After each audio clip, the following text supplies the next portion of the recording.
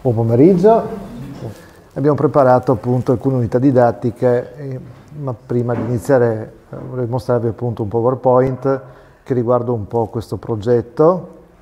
Uh, come sapete abbiamo fatto nel VP precedente classi transfrontaliere, nel VP di cui parliamo oggi, il Package invece il target è stato il potenziamento di insegnamento della lingua italiana, ma soprattutto di lavoro interdisciplinare questo verso, perché abbiamo un territorio con più lingue e quindi l'aspetto linguistico, grazie, grazie all'operato di docenti, delle guide, si è potuto confrontare, trasmettere, consolidare e poi abbiamo pensato di lavorare in ambito letterario.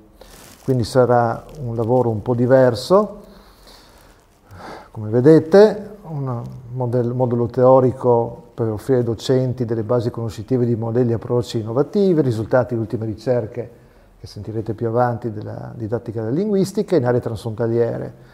E eh, questi moduli che stiamo presentando già dall'altra settimana appunto possono essere usati a scuola e sono moduli condivisibili anche con insegnanti non necessariamente di lingua italiana ma anche con insegnanti di altre materie. Vedremo appunto abbiamo già visto anche con la collega Martina, come si possa lavorare anche con più insegnanti su più materie, però partendo dal punto diciamo, di vista linguistico. Il primo autore, e qui parliamo di autori direttamente, che abbiamo scelto, che ho scelto, è stato Gianni Stuparic. Uh, per scegliere alcuni autori uh, adatti a quello che avevamo in mente, è stato diciamo, un lavoro un po' complesso. Sapete bene che esiste già un'antologia di autori, diciamo, della comunità nazionale italiana, che è stata edita un paio d'anni fa, grazie al lavoro dell'Università di Umanistica di Capodistria, non solo, e eh, che è veramente un valido supporto a quanto viene svolto in classe, sia per l'insegnante di italiano che per l'insegnante anche di storia, di altre materie e così via. No? In questa antologia però, eh, per motivi naturalmente di scelta di privilegiare, anzi di includere solamente autori locali, non hanno trovato spazio degli autori che, pur non essendo di questo territorio, ma essendo il territorio limitrofo, in questo caso del Triestino, hanno scritto, hanno operato nel secolo scorso, ma non solo, come vedremo, proprio parlando dell'Istria. Stuparic è stato già eh, diciamo, valorizzato per le nostre scuole quando è stato inserito se non sbaglio un paio d'anni fa, qui magari il nostro signor consulente mi può aiutare, nelle VNC, signor no? consulente distratto. Sì, sì chiedo scusa. Sì, era stato inserito in una verifica nazionale sì, delle competenze, competenze che è stata anche, scusate l'espressione, somministrata, credo due o tre anni fa. Uh-huh. E quindi un autore che sta venendo rivalorizzato, in particolare nei suoi ricordi istriani il Codistriani è stato scelto perché forse l'opera più, diciamo, più semplice, più adatta ai nostri ragazzi rispetto ad, altre, ad altri lavori di Gianni. No? Sapete probabilmente è già nato a Trieste, è uno scrittore che eh, ha iniziato a operare praticamente nel periodo diciamo, della Prima Guerra Mondiale, è stato anche volontario di guerra, irredentista, ma poi ha avuto un percorso umano e politico diverso, tanto da far parte anche della Resistenza. Le opere più importanti sono i racconti che risalgono un periodo della prima e della seconda guerra mondiale, del 29, l'isola, qualche ritorno del padre, i ricordi istriani, no? del 61. Quindi abbiamo scelto Stuparic, in particolare abbiamo scelto questo I doni dell'Istria, in cui l'autore praticamente eh, ricorda se stesso da bambino e il suo rapporto con la terra natale del padre e della madre, mentre lui già viveva a Trieste, questo in parte anche autobiografico. No? in quanto vedete il padre di Gianni era nato a Lussin Piccolo, aveva studiato al ginnasio di Capodistria, qui vicino, poi come tanti altri istriani si è spostato per motivi di lavoro a Trieste. E questo è il primo autore, questo abbiamo, abbiamo, poi vedremo le schede di lavoro, i PowerPoint e così via, a cui abbiamo pensato. Ecco qua una la slide iniziale del PowerPoint, no, con la nostra Istria. Il secondo autore, anch'esso triestino, anche d'origine mista, in questo caso boemo tedesco-slava, e Scipio Slataper. L'opera naturalmente in questo caso che è stata scelta il mio Carso. Questo anche perché abbiamo pensato, con la professoressa Sonia a suo tempo, di eh, trovare, scegliere delle tematiche particolarmente diciamo, moderne, eh, adatte ai nostri giovani e adatte ai tempi che corrono e alle sfide che ci presenta la contemporaneità, in particolare l'ambiente, la conoscenza dello stesso, attraverso in questo caso la letteratura, perché comunque di moduli di lingua italiana si trattava, e poi vedremo anche la condizione femminile, che è stata in parte, avete visto, anche introdotta nell'unità didattica presentata dalla collega Martina con le savrinche e le lavoratrici nelle fabbriche, ad esempio del pesce, no? come quelle di Isole e così via.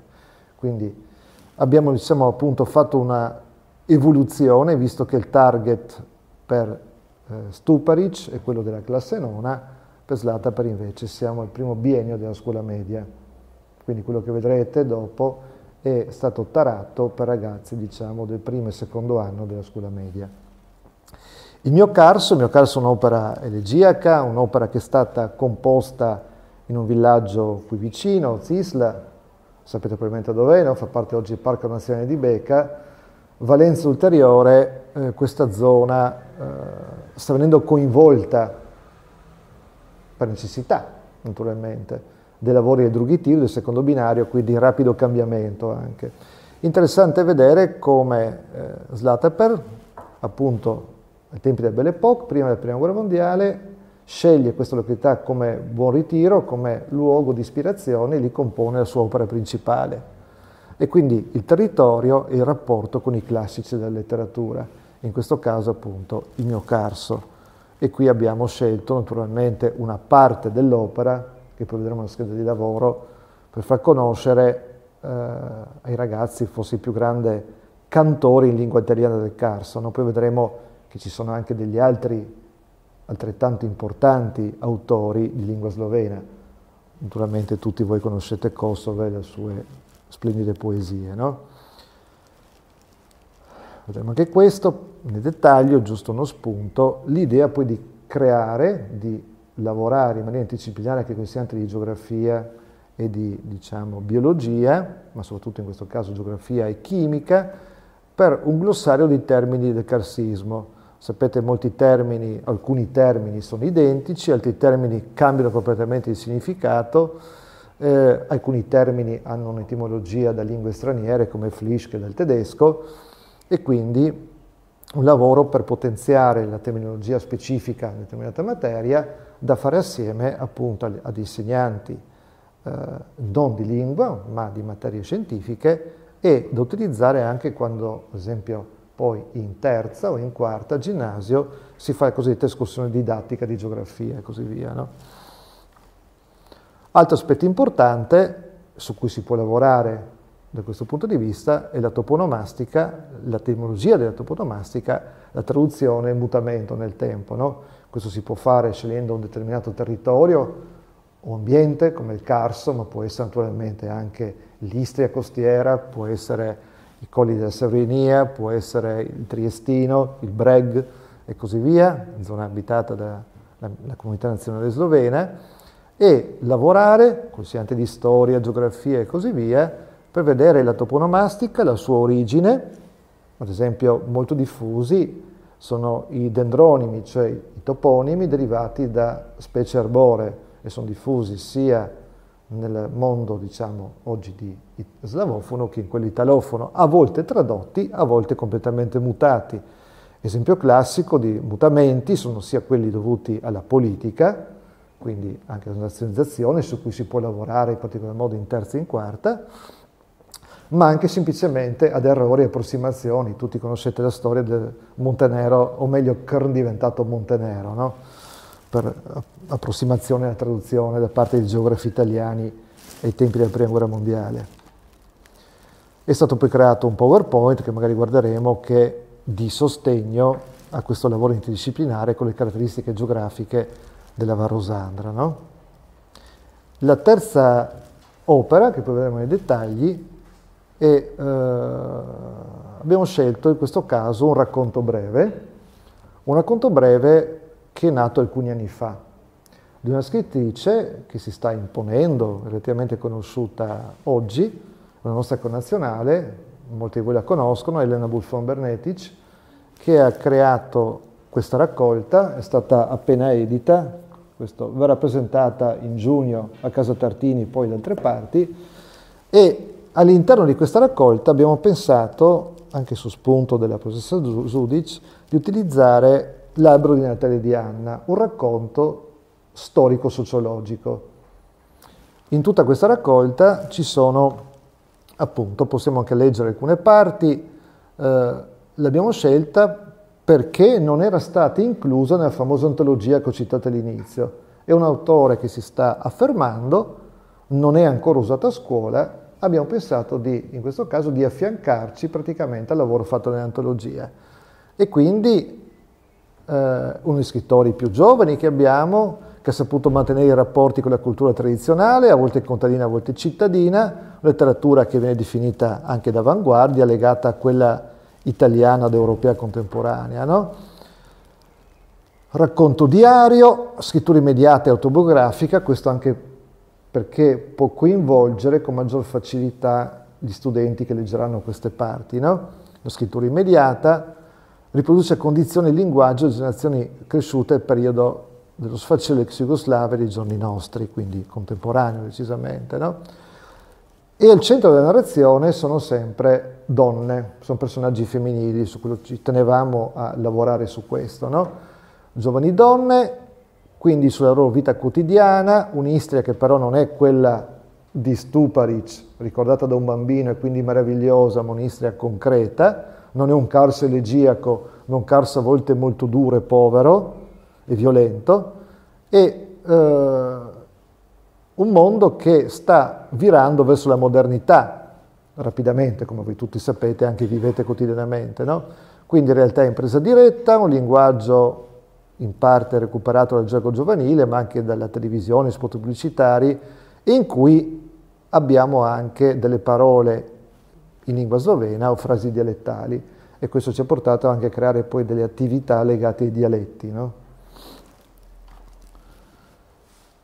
Le tematiche care all'autrice, uomo-donna, adulto-bambino, storie coinvolgenti, eh, appunto contrapposizioni, dicotomie tra città e provincia, ma anche una certa mentalità a volte superata o retrograda. Ci sono storie che ci portano al passato, in particolare la prima del racconto, ma che è ambientata nel periodo immediatamente successivo alla Prima Guerra Mondiale, e questa che invece che è ambientata negli ultimi mesi prima del secondo conflitto mondiale, quando l'Istria stava per entrare nella seconda guerra mondiale e sarebbe cambiata completamente.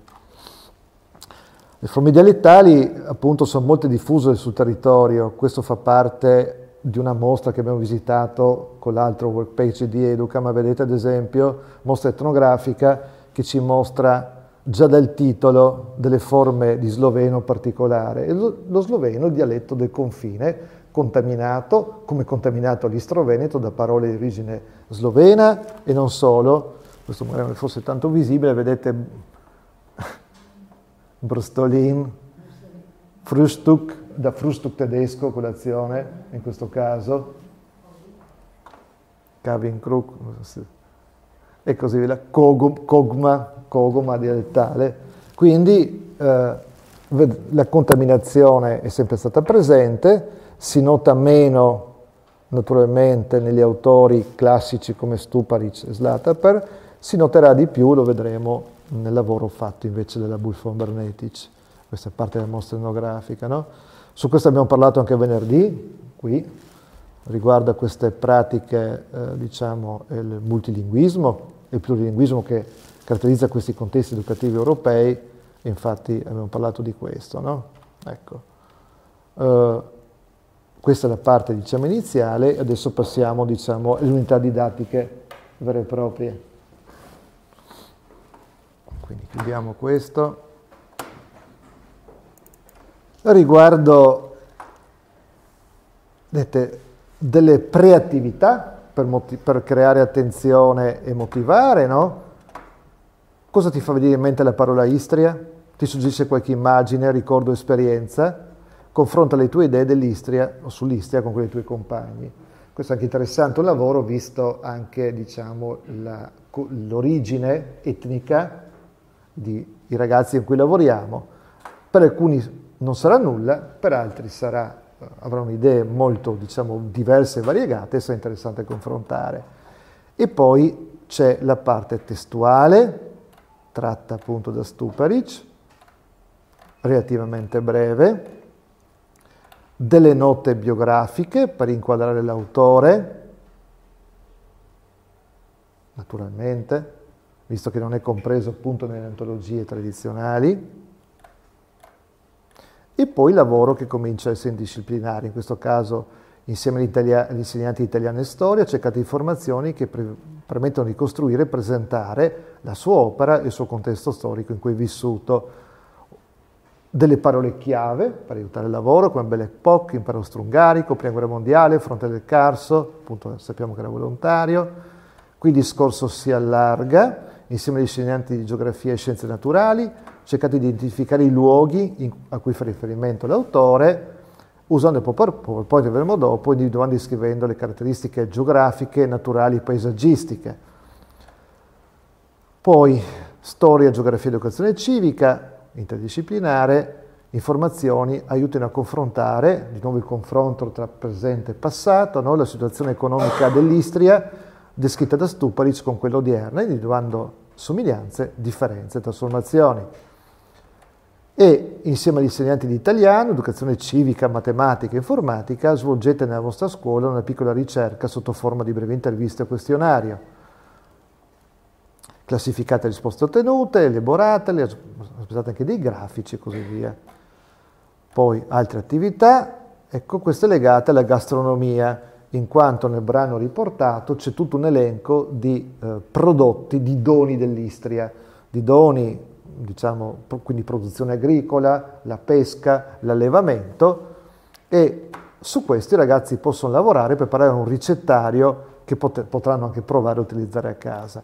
Poi c'è una parte prettamente linguistico, diciamo, di esercizi, no? vedete alcune forme particolari, a cui devono spiegare con le proprie parole, sia termini anche relativamente desueti. Poi trovi i doni inviati alla famiglia, elencali, raggruppali per tipologia, confronta la tua classificazione con quella dei compagni, cerca delle informazioni sulle caratteristiche e sulle provenienze di ciascuno dei doni e provate a verificare se si sono reperibili anche oggi. Poi spiega con parole tue che cosa l'autore ci voleva comunicare a proposito dell'Istria quando contrappone parole povera e impoverita e confronta la tua interpretazione. E poi questa specie di contraddizione, Istria tanto povera quanto generosa, e ritieni che l'opinione di Stupari sia applicabile anche nell'Istria di oggi.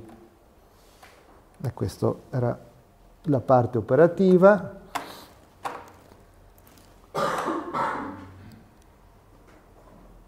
La parte sotto forma di... Prego.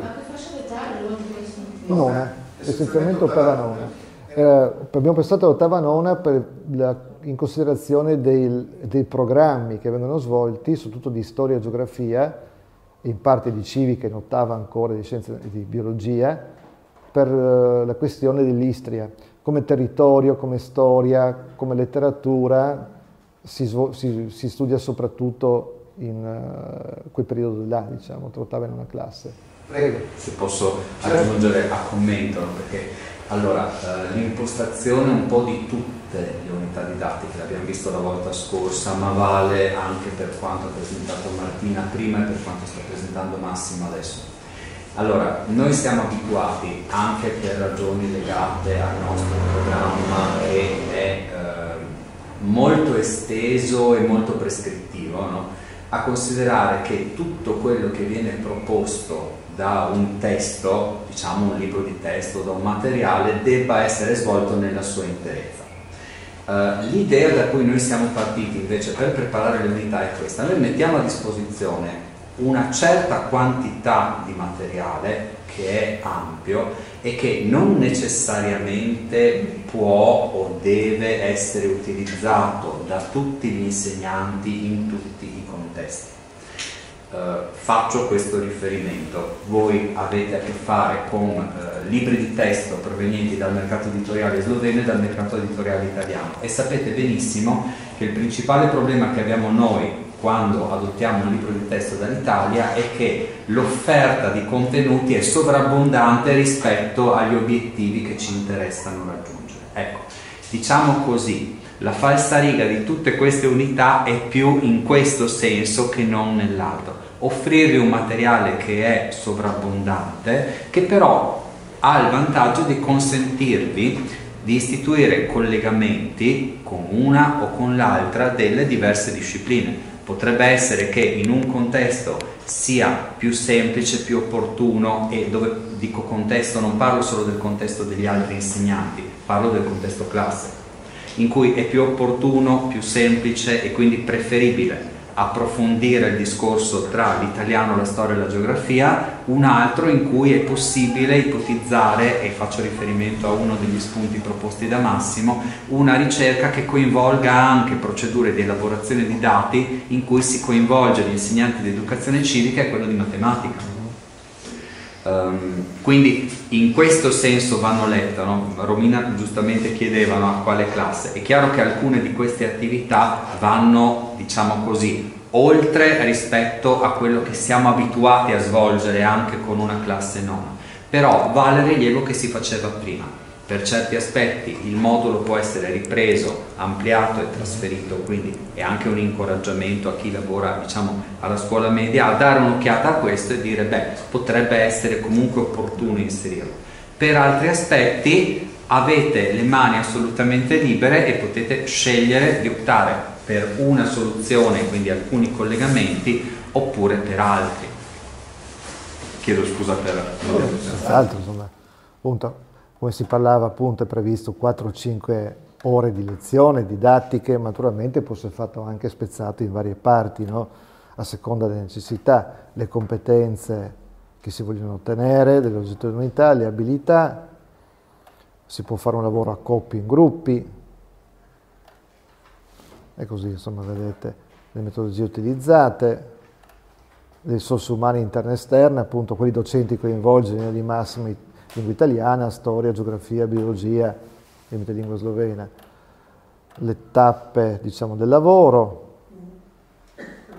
volendo fare appunto ripartirlo su 4-5 ore didattiche, che non è poco, oppure si possono appunto saltare o eliminare alcune di queste senza approfondire tutto l'aspetto. No? È appunto una linea guida anche su come poter lavorare con altri tipi di, eh, di testi di altri autori naturalmente, non invito ad ampliare perché ce ne sono veramente tanti, abbiamo pensato a questi tre ma non è che manchino ecco, da questo punto di vista. Può essere accompagnato da un PowerPoint abbastanza semplice, so, alcune slide appunto, eh, ad esempio questa, per far identificare questo è il testo, appunto da cosa, cosa, veniva e da dove, no? prodotti, città, località che eh, a volte sono dimenticate, a volte hanno un altro nome, o meglio hanno più nomi, è giusto che lì si può fare un lavoro comparativo tra, ad esempio, l'origine antica, non so, Parenzium, Porec, Parenzo e così via, no? Dignano, l'olio, il vino e così via, no? Anche le forme con cui veniva trasportato e commercializzato decisamente diverse da quelle odierne. Anche qui si può fare un confronto da questo punto di vista. No? E questo un materiale di supporto che può essere appunto individuato. Ecco, la chiusura è anche interessante, no? quella di Stuparic di tanti anni fa. Povera la mia Istria, Un'Istria è stata sfruttata, trascurata e impoverita, ma allora da bambino, con gli occhi di un bambino, la stimavo la terra più ricca del mondo, più abbondante di toni preziosi. In realtà, anche se povera, e proprio perché povera, l'Istria è sempre stata una gran terra generosa. No? E su questo anche abbiamo visto come poter aprire un dibattito con i ragazzi e col territorio dove sono nati o dove vivono e quanto sia cambiato da questo punto di vista. quanto forse i prodotti idoni elencati da Stuparic siano o meno attuali oggi, quanto può interessare a un ragazzino di 14 anni la presenza o meno degli scampi in pescheria, diciamo, no? ma quanto può essere importante per la biodiversità e per l'ecologia marina la presenza di un animale o di un'altra specie e così via. Si può lavorare anche su questo, no? naturalmente, prendo spunto dalla presenza del collega di, di Scienze Naturali, Biologia e Chimica qui. Il secondo appunto autore, qui vediamo la scheda, magari prima che abbiamo visto, è Slataper con mio Carso, qui pensato diciamo per le classi terza e quarta, può essere anche eh, diciamo, spostato verso la prima e seconda media, ma ritiamo più adatto a questi. Le attività, produrre testi coerenti, strutture e funzioni delle tipologie testuali, selezionare informazioni in base alla rilevanza, tecnologie informatiche come sempre, il lavoro di questo tipo e quindi gli insegnanti coinvolti in linea di massima, come lavorare e come confrontare. Vediamo brevemente la, il lavoro sul mio carso. No? Qui in parte ricorda la parola istria, nel senso il carso in me e intorno a me. Che cosa ti fa venire in mente la parola carso? Anche qui ti suggerisce qualche immagine, ricordo, esperienza, confronta le tue idee sul carso con quelle dei, dei tuoi compagni. Interessante sarebbe anche fare un confronto tra eh, l'impressione che un territorio crea in una preadolescente e quella di un quasi maggiorenne, diciamo, no? Terza e quarta media, media sono 17-18 anni. E c'è la parte naturalmente di testo, carso duro e buono, con linguaggio, con italiano che risente di più di cent'anni in cui è stato scritto, e qui anche interessante. Di nuovo le note biografiche per inquadrare l'autore nel tempo e nello spazio, si autodefinì slavo tedesco italiano e cadde in combattimento. Qui si possono appunto confrontare, ormai, oh, questo è un errore magari da correggere, confrontare con la letteratura europea, perché ormai sono abbastanza grandi da poter confrontare con altri autori di lingua straniera, italiano-sloveno, per vedere come un autore ha descritto il territorio in cui viveva e amava. No? Come vi ho citato prima, un esempio, un collegamento molto semplice, anche considerato l'argomento, è quello con Kosovo. Una faremo, faranno, letteralmente in quanto io non, non, insegno al ginnasio più.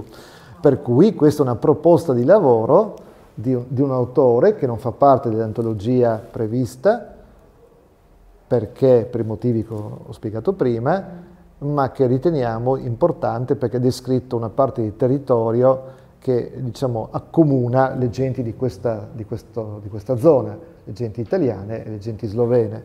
Il, questo fa, parte, questo fa parte sempre di Educa, di un package di, un package di Educa, eh, che era finalizzato alla creazione di unità didattiche, diciamo, a carattere transfrontaliero per quanto possibile, ma finalizzate in questo caso al potenziamento dell'insegnamento della lingua italiana, diciamo, dal, dall'asilo fino alla quarta ginnasio. No?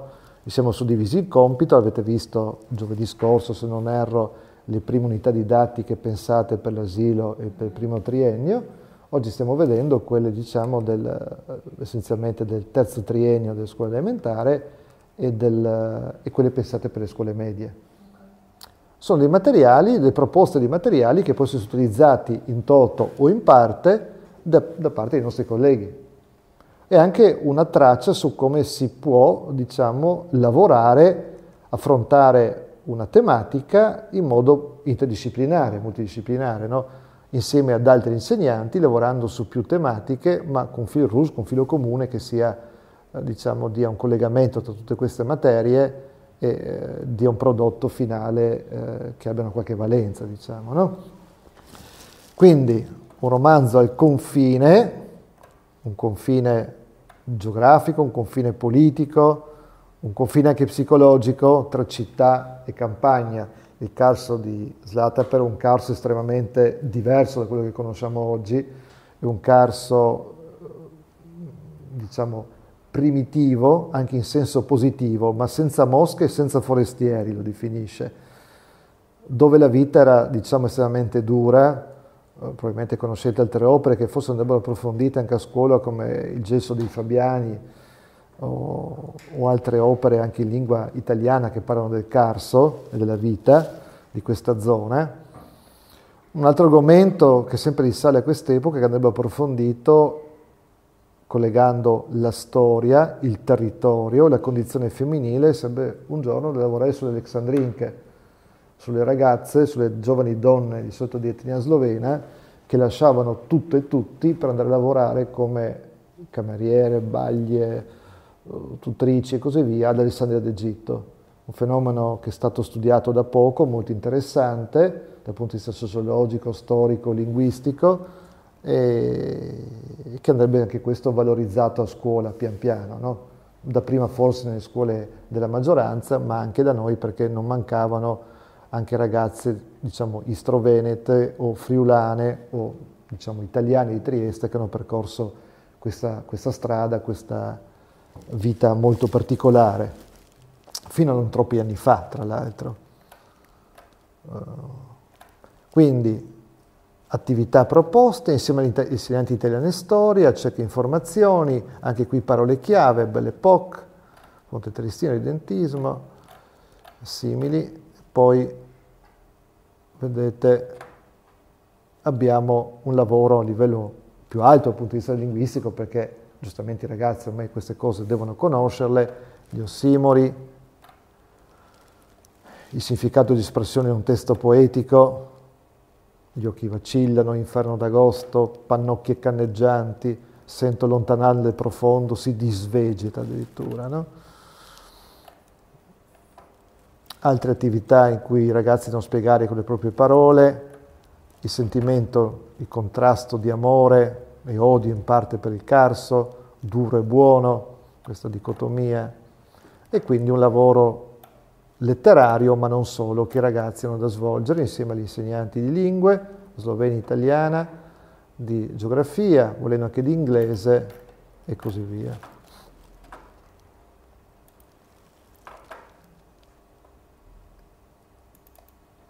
Infine, unità tematica dedicata appunto alla condizione femminile, in questo caso un racconto breve, L'albero di Natale di Anna, adatto forse più alle classi prima e seconda, anche perché eh, in quel periodo della loro diciamo, maturazione, nel loro percorso scolastico, hanno appena o stanno finendo di studiare la sociologia, quindi insomma, sono freschi della materia, materia che poi non recupereranno, nel senso sapete dal curriculum scolastico delle scuole medie, che alcune materie vengono svolte solamente per un anno e poi tacciono.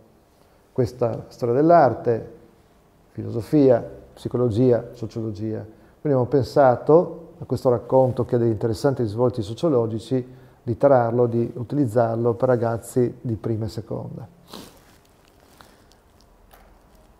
La struttura è simile, l'unità didattica come le altre, anche nella durata, nel lavoro da fare, anche qui, vedete, si può lavorare in questo senso. Preparazione edizione glossari plurilingui, in questo caso più sulle forme dialettali, ma non solo. E vediamo in sé la Natale di Anna. Anche qui si parte da un momento di attivazione dei ragazzi, cosa ti fa venire in mente la parola Natale. Anche qui è un argomento relativamente delicato perché eh, Natale lo è, ma non per tutti.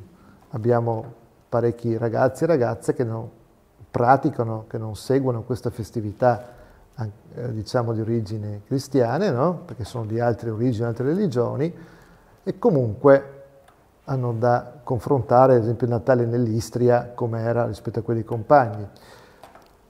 Leggi questo breve racconto che riguarda l'ultimo Natale di pace di una famiglia istriana, esattamente 80 anni fa, poi insieme ai tuoi compagni confronta le tue impressioni e c'è il racconto, un racconto che si ambienta eh, nel dicembre del 39, c'è una ragazzina, Anna, e diciamo le sue avventure, il suo Natale è abbastanza triste. Si svolge nel Buiese questo racconto, quindi anche abbastanza, vedete, Castelvenere, Buie e così via, sono località anche abbastanza note, comunque possono essere abbastanza chiare dal punto di vista spaziale ai ragazzi. Le forme dialettali su cui poi lavoreranno, incluse nel testo. È un testo un po' più lungo, come vedete, anche perché è un testo più semplice. Fritelle, fritule, in forma dialettale. Qui ci sono delle note biografiche sull'autore. Riconosci nel racconto alcuni degli elementi menzionati, in generale ritieni condivisibile l'interpretazione proposta dalle note, confronta la tua opinione con i tuoi compagni e compagne, quindi qui un lavoro anche dal punto di vista di critica letteraria da svolgere. E poi anche qui il contesto storico, sapete questo è il contesto storico legato alla letteratura, può sembrare una cosa ridondante e monotona, ma una delle prime domande che si fanno al candidato alla maturità di lingua italiana. Collocare l'autore nel suo contesto storico. Per cui abbiamo eh, diciamo, stabilito di inserire anche questa parte che può sembrare relativamente forse noiosa e poco dinamica, perché è una delle, eh, diciamo, delle domande chiave che vengono rivolte ai candidati delle nostre scuole, e non solo naturalmente. No? Per cui contesto storico, in questo caso ci spostiamo al ventennio fascista, l'Istia, Seconda Guerra Mondiale, no?